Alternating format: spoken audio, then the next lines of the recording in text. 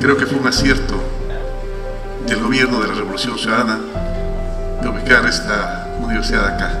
Qué sitio precioso, les felicito.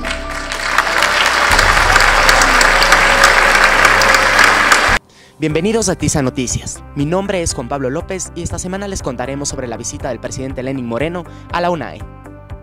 El presidente Moreno arribó a la construcción del campus al mediodía, acompañado del doctor Augusto Barrera, secretario de Cenecit, doctor Fander Falconi, ministro de Educación, entre otras autoridades del país, quienes fueron guiados por el rector de la UNAE, el doctor Freddy Álvarez González. La obra, que actualmente tiene un avance de aproximadamente un 60%, tiene un costo de 30 millones de dólares.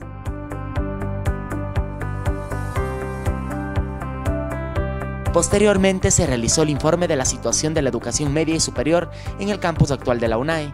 Educador Simón Rodríguez, que la tarea fundamental de los maestros es enseñar a aprender. Nosotros aquí en la UNAE, señor presidente, aprendemos a enseñar, pero también aprendemos a aprender y sobre todo a escuchar. Compromiso y cero tolerancia con cualquier tipo de abuso estudiantil. No podemos soportar ningún tipo de abuso estudiantil.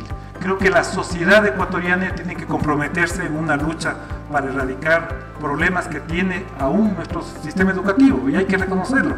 Ustedes saben, estas becas están orientadas a los más pobres y hemos incorporado además de ese concepto algunos vinculados a equidad de género.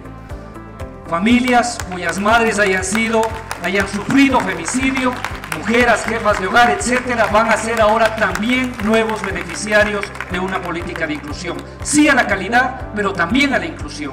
Ese es el enfoque con el que estamos trabajando. El presidente Lenin Moreno indicó: Aprender para mejor comprender y actuar.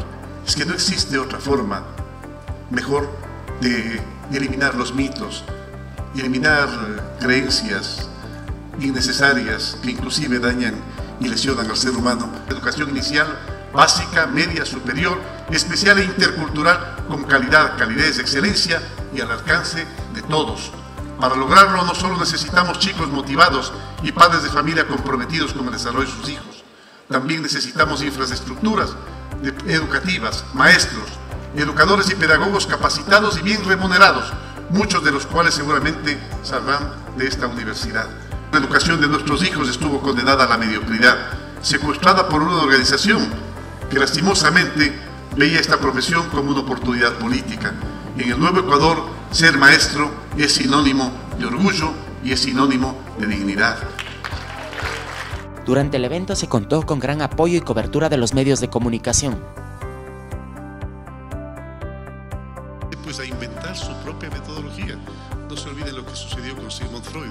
Tras el recorrido por la obra, el jefe de Estado resaltó la importancia de contar con esta institución. El gobierno no debe escatimar ningún tipo de esfuerzo, ni tecnológico, ni humano, ni económico, en la tarea de ha sido la creciente demanda de estudiantes y maestros. Actualmente el déficit de profesores en educación media es de apenas 1.276 profesionales. Para más información también pueden visitar nuestra página web o visitar nuestras redes sociales. Constantemente estamos actualizando todo lo que sucede en la Universidad Nacional de Educación.